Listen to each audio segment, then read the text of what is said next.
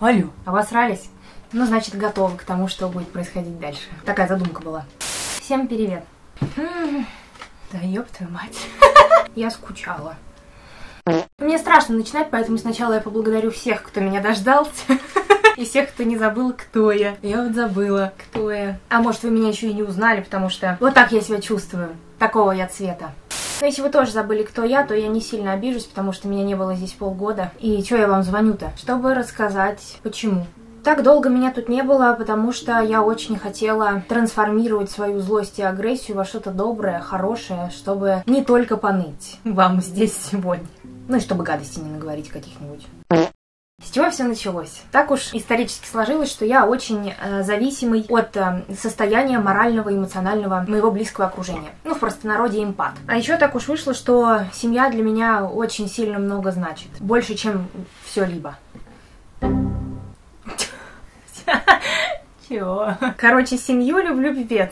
И примерно полгода назад э, приключилась не Настя с Настей. Человек, который был для меня самым-самым близким, мой бывший уже молодой человек, э, он себя почувствовал неважно. Что-то у него кошки на душе скрепстись начали. Ну и в принципе, в принципе ему ну, стало грустно очень. И мне сразу тоже. Мы вроде как пытались это все починить, нормализовать. Получилось только усугубить проблемы в отношениях. А такое положение дел всегда меня парализовало. Ну не могу я радоваться жизни, хотеть что-то делать, когда все херово. А если в моих отношениях все херово, значит у меня все херово. Ужас. Ну в итоге ничего у нас не получилось, и мы расстались.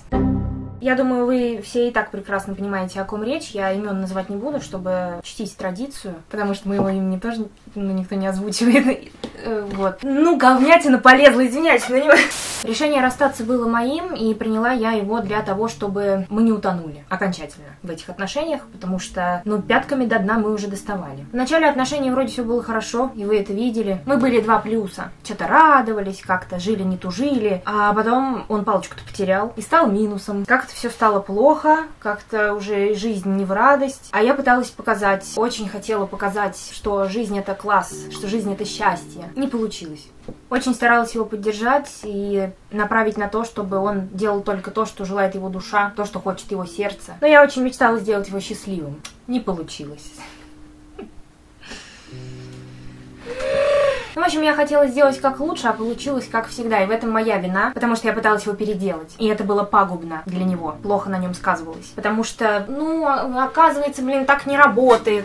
Не работает так. И не можешь ты управлять людьми, и не можешь ты им засунуть другие глаза, чтобы они видели ими все хорошее. Так не бывает. Ну и когда ситуация стала патовой, в общем-то, мы и расстались. Когда стало понятно, что я, я хотела починить и доломала нахер. Но даже э, в момент принятия решения о расставании я все еще очень хотела, чтобы он был счастлив. И он сказал, что очень хочет заниматься музыкой, а со мной у него не получается. И я решила отпустить. Ну и отпустила, любя. Получается так. Было очень тяжело. Я, если честно, думала, что, может быть, получится что-то починить спустя время. Чтобы, может быть, человек тоже захотел сделать что-то, чтобы отношения восстали из мертвых. В этом тоже моя проблема, потому что это что у нас? Правильно, ожидания. Они отравляют жизнь. Записывайте. Ну и что я делала дальше? Я дальше просто сколько-то дней, недель, может быть, месяц лежал. Я лежала. Я теперь умею профессионально лежать, играть в клуб романтики, где все классно, мило, романтично. Ну, иногда кто-то умирает, конечно. Но в целом прикольно, мне понравилось. Я прошла очень много историй. Я задонатила очень много денег, чтобы их проходить. А и отвлекаться от реальности. Ну, в общем-то, все, все. Это, это все, чем я занималась. Мне даже как-то стыдно. А так нет, я выкинула месяц из жизни вот на это. А кто-то не выкидывал месяц. Время средний терял. Да ладно. Всяко бывает. Все в жизни может поменяться. Но потом-то все стало нормально. Я записалась на танцы, представьте себе. Я до сих пор поверить не могу. Но я, правда, уже сейчас не хожу, потому что э, меня опять что-то пришибло. Слегка. Но мне очень понравилось. Танцы, знаете, такие, джаз-фанк называется. Там и жопы повертеть, и как-то вот и... И еще вот так, эти, эти могу смотреть, и оп, вот так еще, и вот так, опа, эти. Начала ходить на вокал, очень сильно ходить на вокал начала. И даже какие-то подвижки, и мне вообще нравится, и песни я даже какие-то вот э, пыталась петь. в плавание, ища вторую половину, ища стабильность, сильную Чувствовать я себя начала хорошо. Даже как-то не поверила самой себе, что такое может быть. А дальше наступил один из самых счастливых дней в моей жизни за очень долгое время. Просто внутри было хорошо. Жить захотелось обратно. Я даже в тот день очень хорошо вела сторис. Это редко очень бывает, когда меня устраивает э, то, что я делаю. А меня очень устроили мои сторис, которые наделала в тот день. Но они такие веселые получились. А потом я еще и на праздник жизни пошла к друзьям семьи. И вообще все стало зашибись. Я там съела вкусный бургер. И вот как только я его съела, буквально, ну прям сразу, я его проглотила, последний кусок, я узнаю, что у моего бывшего молодого человека новые отношения. Из ТикТока я это узнала. Жахнула не по-детски меня, конечно. Я так понимаю, у меня была паничка, паническая атака. Я сидела за столом в кругу людей. День рождения тут у всех происходит. Они что-то радуются, говорят. Много людей с разных сторон. А я перестаю их слышать. Я не слышу никого. И слышу только свое сердце. Из всех щелей. Оно просто... Вот. Ну, я встаю такая из-за стола. Ни хрена не слышу, не вижу. Но знаю, что хочу выйти. Потому что мне не нравится находиться. А это был частный дом, и я хотела выйти во двор. Иду к двери, хватаюсь за ручку и вот так вот просто дергаю. Я ее просто дергаю и и не могу понять, она не открывается, ёпта. Она не открывается. И я в шоке просто. Я думаю, и что это такое? Как это починить? Я ее туда и сюда, она не открывается. Охереть. Я только вот пять минут назад умела ей пользоваться. Я побежала в туалет, потому что он был открыт. Там не надо было дверь открывать, ничего. Я забежала, закрыла дверь и просто села на толчок. И сижу, не пержу. Было бы смешно, если бы пердела. Сижу, пержу, сказала бы. А не могу, не, просто села и меня придавила. Вообще-то боль была... Ну, ситуация какова получилась? Я, значит, начала выбираться из болота, которое сама себе намесила, почти вылезла, а потом обратно меня туда. Не успела я, в общем, глоток свежего воздуха сделать и захлебнулась заново. Потому что вышло так, что до того, как я начала радоваться жизни вновь, у меня обмороки какие-то появились, я что-то чем-то болеть начала. Она в обморок упала, блядь, сидя, ёпт. Я ее трясу, блядь. У меня истерика, ёпт. Она через, наверное, через минуту, блядь, себя такая приходит, говорит, чё, чё, да я вас слышу, типа, вижу, блядь. У нее мошки перед глазами летают, блядь. Она желтая была, как земля, с белыми губами, блядь. А когда в обмороке была, они у нее начали синеть, представляешь? Она как дышать, блядь, перестала, как об- обмякла, блядь, прям. Я вообще, что я, блядь, пока она в обмороке была, я ей скорую сразу вызвала, блин, сюда. И бывший молодой человек мне писал, интересовался моим состоянием. И как-то я позволила этому укрепить мои ожидания, что, может быть, как-то все-таки ну, воссоединение-то может случиться, что ли. А выяснилось, что человек уже в тот момент уже находился в отношениях, когда интересовался моим состоянием. И когда я это сопоставила, и- ну, ну сама виновата опять, видите. Напридумывала что-то, обрадовалась, а потом расстроилась. И мне очень хотелось кричать. Но рот был завязан обязательствами, обстоятельствами, потому что он не, не афишировал, но и не отрицал того, что у него новые отношения. А я себя очень плохо чувствовала, и мне очень хотелось показать это в сторис хотя бы, чтобы почувствовать, э, что я не одна. Ну, всячески пожалеть себя мне хотелось. Отсюда и мои вбросы. Я выкладывала свои слезки в Инстаграм, за меня начали переживать и поддерживать, за что огромное вам спасибо. И мне делало это легче. Но я не учла того, что это наделает шума. Скрины моих сторис, они разлетелись по пабликам и подогрели интерес к чему-то, что еще не произошло. Под этим я подразумеваю официальное подтверждение новых отношений с его стороны. И вот погрузилась я в это свое болото вновь, э, и что же я там делала? Я там отрицала, я там гневалась, ругалась. Было такое ощущение, как будто бы, знаете, как будто все это было и неправда. Отношения, которые длились э, два с половиной года, почти три, они как будто все были не по-настоящему. Да и человек мне сказал, что ему нужна только музыка, и вообще отношения ему не нужны, и что он меня любит. А так бы, если бы не любил, ему, ему вообще отношения нахер не нужны. Я поверила, но получается так, что от- не отношения не нужны были человеку, а отношения со мной просто не договорил. Но его тоже можно понять. э, Это, ну, такое, такое сложно сказать, такое страшно сказать. Ну и сколько-то недель подряд после этой новости, которую я узнала, посвятила тому, чтобы сомневаться во всем, что происходило. Вспыхивали какие-то обещания, какие-то события, какие-то планы. И к каждой вспышке я находила пазл, который как будто бы объяснял мне, что «А, нет, неправда все это была». И вот я боролась. Не хотела верить в то, что это была неправда. Веселого было мало, как можете понять. А, ну еще и было пару дней таких, каких лучше бы не было. Я, ну, знаете, всякую дрянь писала человеку. Стыдно. И я очень прошу прощения за это. Но мне очень хотелось вернуть ему свою боль. И я этим не горжусь. И очень не рекомендую вам желать того же. Потому что это не так работает. Потому что, как правило, когда вы пишете дрянь, легче не становится, становится тяжелее.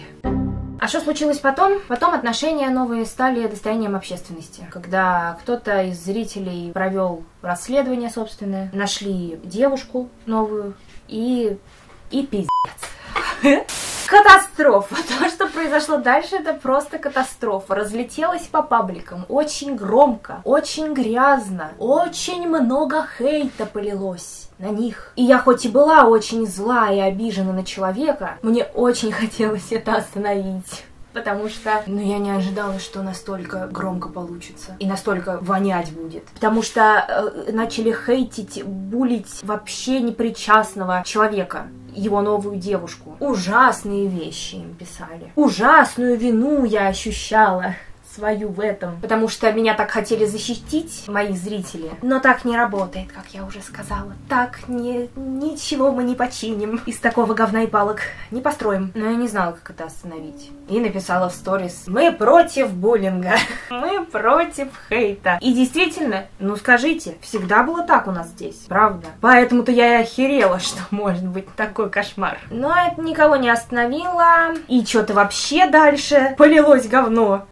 Они, получается, стали защищаться, ненароком как-то набрасываясь на меня, чуть-чуть подковыривая, знаете. Меня это заставило злиться снова сильно. Потому что вот эти вот пасхалочки, знаете, какие-то отсылочки, как-то это... Мне не хотелось в этом быть. Злая была очень. И изо всех сил пыталась это подавить, убрать эту злость, потому что она меня жрала. И вы, наверное, думаете, что расстались мы на хорошей ноте, потому что я дала вам повод так думать сама. Сколько-то дней назад мы с Лешей приняли окончательное решение расстаться. И это решение было принято не в процессе ссоры, ругани. Это было абсолютно стеклое, как трезвышко решение. Собственно, откуда злость? Моя взялась. Расстаться мирно не получилось, поговорить не вышло, поэтому злюсь. А человек просто, ну, тогда был не в состоянии, видимо, расставить точки над «и», полюбовно решить эту ситуацию, да, чинно, мирно, благородно. Мы молча расстались. Меня почему-то не хотели ни держать, ни отпускать. Поэтому решение приняла я. Уйти оттуда, где любовью уже и не пахло. Но скажу сразу, что я тоже была говном. Тоже прозвучало плохо, извиняй. Просто, без тоже, я была говном. В отношениях, особенно в расставании, никогда не бывает э, один виноват. К разрушению подталкивает поведение обоих людей всегда. Хотя, не знаю. Ты что пугаешь-то? Прости, просто я представил, а, если кто-то кого-то избивает, э, второй человек вряд ли как-то подталкивает. Ладно, все, никого не избивали, все.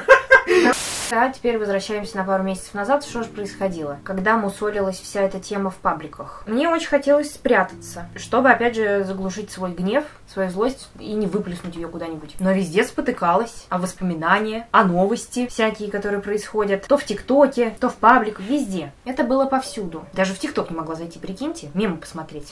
Каждый раз мелькало что-то и царапало. И это было сложно. Ну, это постоянное напоминание. Не успеваешь отойти и прийти в себя. А раны и так не зажившие, а их еще вот бороздят, ну, я сама, получается, потому что ну, в паблике вот надо было не заходить. И поделиться тем, что внутри я снова не могла, потому что теперь уж, если я и делилась, то все мои действия считывались как призыв к войне, к хейту. Ребята, в такой яме, в общем, мы оказались.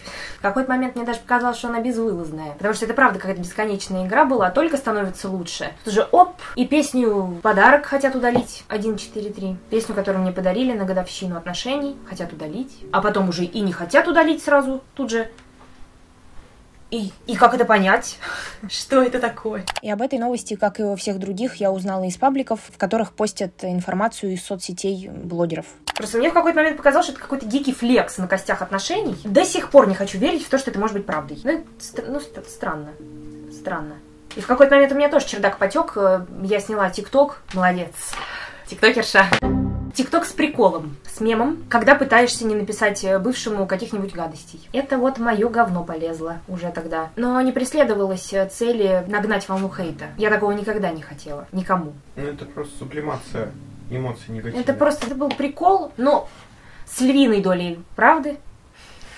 Ай. Ты привыкла, э, сколько ты уже снимаешь? Ты все э, какие-то негативные моменты через шутки, через видео. Ну, как- Это мы сейчас меня оправдываем, да? Ну, чуть-чуть, ну а как без этого-то? Потому что на самом деле так оно и происходило. Когда э, все тебе затыкают рот, сама ты себе затыкаешь рот в первую очередь. Как еще поступать? Забить хер. Найти в себе силы и забить хер. Самая моя грубая ошибка была в том, что я сама заходила в паблики, погружалась в это, читала комментарии, анализировала все, потому что как будто бы пыталась убедиться в том, что наши отношения были неправдой, чем-то неценным, чтобы как-то через боль оторваться уже и отпустить это все окончательно. И в один из моих таких обысков мне повезло наткнуться на то, на что я не думала, что когда-то натолкнусь. Я вам уже здесь сказала, что семья для меня это что-то очень важное. Его семья тоже была для меня очень важна, сильно важна. Я очень сильно их любила и до сих пор люблю и благодарна. Но в комментариях под очередным постом я наткнулась на очень неприятные слова от человека из семьи. Что там про нас говорили? Судя по фанатам Анастасис, она за буллинг. Стыдно в первую очередь должно быть. Ну, как говорится, рыба гниет с головы, так что после буллинга ее фанов можно понять, кто она такая. Я с этим человеком была в очень хороших отношениях. А потом нашлось еще всякое интересное от этого же человека. Тут этот человек называл меня лицемеркой.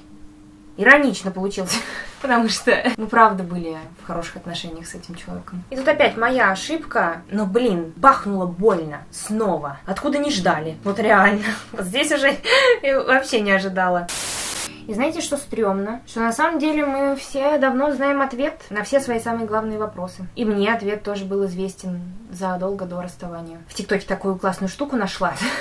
Я вам расскажу. Там говорилось о том, что тебе никогда не придется бороться за настоящую дружбу и настоящую любовь. Ну, типа, игры в одни ворота не будет. Виноват ли человек в том, что он разлюбил? Нет. Виноват ли он в том, что он вступил в отношения очень быстро после разрыва старых отношений? Нет. Заслуживает ли кто-то хейта или буллинга в этой истории?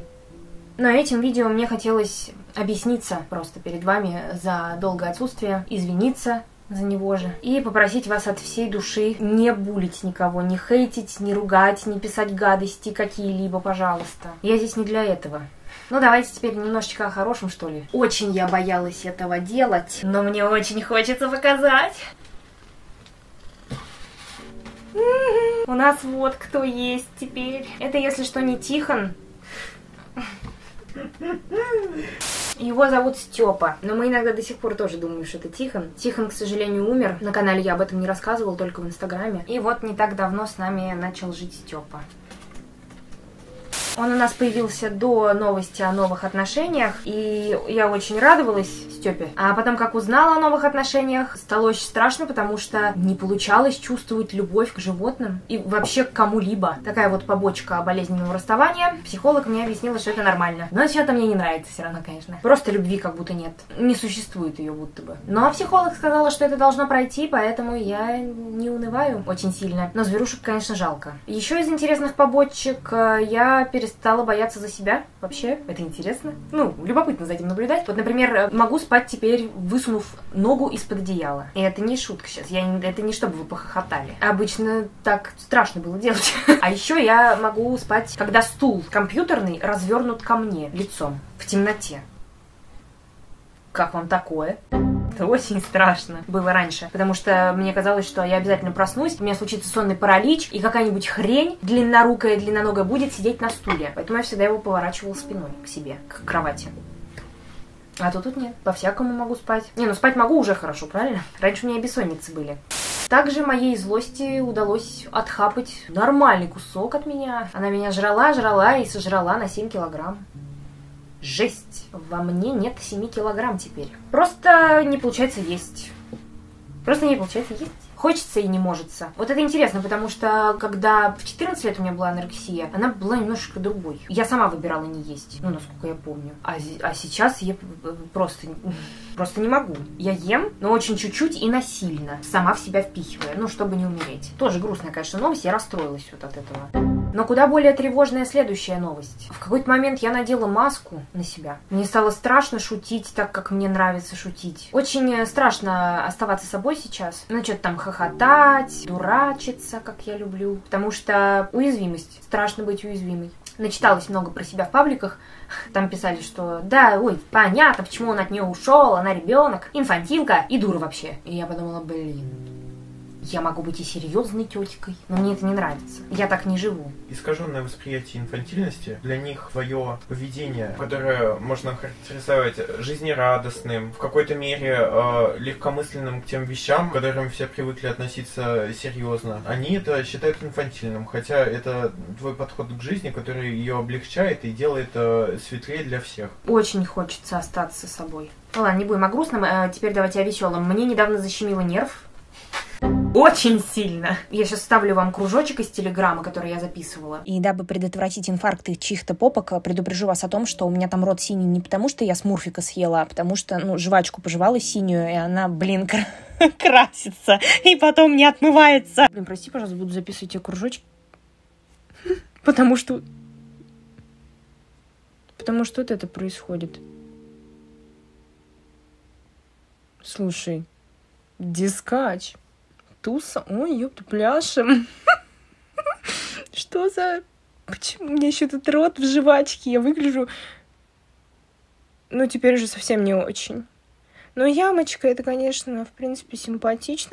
И защемило так, ну, в какой-то момент, я думала, что не расщемит уже. Когда защемляет лицевой нерв, нам в медицинском рассказывали, вообще, это вообще не игрушки. Это надо обосраться от страха в этот момент. Потому что защемить может так, что не отщемит еще очень долго. Но мне отщемило нормально. Зато хороший звоночек был. Звоночек о том, что что-то так не должно быть. Надо что-то с этим делать. И я сильно нервничаю. И я пошла к психиатру. Очень этого избегала до последнего. Ну а потом, когда поняла, что не хочется жить, ну и умирать не хочется, в этом плюс. Но и жить не хочется. Ниче- не хочется хотеть. Вот что стрёмно. И мне прописали антидепрессанты. Хм, Вот пью. Прикольно.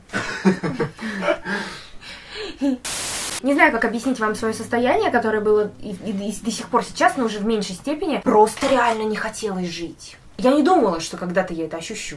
А, ощу- Хорошее слово. ощущу. Щу-щу-щу-щу. Да, такое вот. Да-да-да, щекотящее.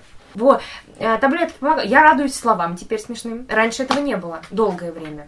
Сейчас могу сказать, что таблетки правда мне помогают. Прошло уже чуть больше двух недель с момента начала приема. Как будто радостнее стало. И я это к чему? К тому, что если вдруг вам расхотелось все и ничего больше не приносит радости, пожалуйста, не бойтесь обращаться за помощью, потому что это страшнее, чем обратиться за помощью, когда ничего не надо, уже тебе становится. Также я еще хотела упомянуть о том, что хожу к психологу уже два года, потому что многие мне советовали обратиться к психологу, а я к нему обращаюсь еженедельно уже два года, и он мне помогает. Но просто правда в том, что он э, не может пофиксить все негативные эмоции. Это так не работает, к сожалению. Он помогает только проживать и разбираться в себе, в своих реакциях, эмоциях. Этим я и занимаюсь. И еще хотела рассказать вам про доброе и про то, какое влияние на самом деле может оказывать окружение. Ну, во всяком случае, на меня.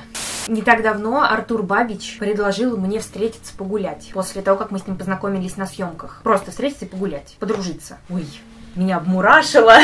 И мы гуляли по центру Москвы, подходило очень много людей, и к нему, и ко мне. Реально, много мурашек.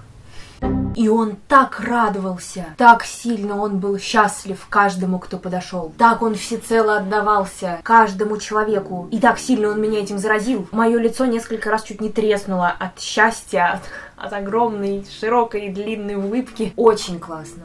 Очень по-доброму. Я такого давно просто не видела. И вот очень рада, что увидела благодаря ему. А еще был случай, когда мы с Олегом и с Настей, это наша общая подруга, пошли гулять втроем, и мы ржали над всем, ухахатывались над слизняками на дороге. Мы их спасали, чтобы их не раздавили. И что-то так ржомбно было, прям до слез. И я тоже очень удивилась, что, что я так могу. Потому что разучилась радоваться жизни. Потому что тоже начала видеть минусы в ней вместе с человеком, которому пыталась показать плюсы. Но он не виноват, опять же. Просто очень высокая восприимчивость, видимо. Эмпатия, ёптая. Ну и мои планы на дальнейшую жизнь такие, что я бы очень хотела заново по-настоящему захотеть жить, радоваться жизни, отпустить все ненужное и переехать в новую квартиру свою, где сейчас активно доделывается ремонт. И очень хочется верить, что там мне будет... что все у меня там будет хорошее. А еще сильно мечтаю, чтобы у всех все было хорошо, чтобы мы все смогли отпустить эту ситуацию и зажили с нового, с чистого листа, без грязи. И еще хочу сказать вам о том, что жизнь это не про белое и черное, и что единственное, что я могу посоветовать, это учиться и научиться экологично для себя, для каждого из вас адаптироваться под обстоятельства с наименьшими потерями внутренними и стараться изо всех сил искать плюсы во всем. На этом мои новости и истории заканчиваются. Я еще раз очень хотела бы попросить вас по-человечески, пожалуйста, не развозить грязь, не писать гадостей. И поблагодарить хочу вас за то, что всегда были рядом и дали мне время. Лешу, которого я знала и который ни в чем не виноват. Его семью за то, что приняла меня когда-то. Свою семью за то, что была рядом. И своих друзей. Я всех очень сильно люблю. И свое прошлое. И отпускаю его. Всем большое спасибо за просмотр. Простите меня, пожалуйста, все. Всех люблю, всех целую и всем пока-пока.